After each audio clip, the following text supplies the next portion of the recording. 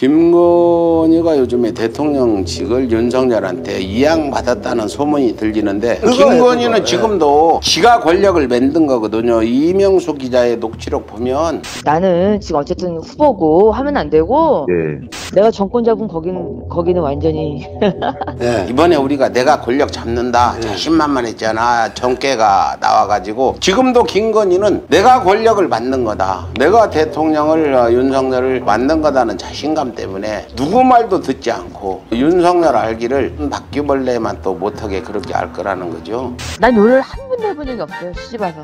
아, 그래요? 우리 남편 다 하지. 50 먹은 놈이 돈도 한 푼도 없고. 그러니까 돈 장가 올때 돈도 10원도 없어서 장가도 못 가서. 네. 그래서 저랑 저랑 결혼한 거고. 비실거리는 거 데려다 키운 거 아니에요. 그러죠. 인간 입장에서는 윤석열의 모든 거는 나 때문에 있다고. 그거는 나도 부인 못 하겠어요. 김건희 거야 윤석열은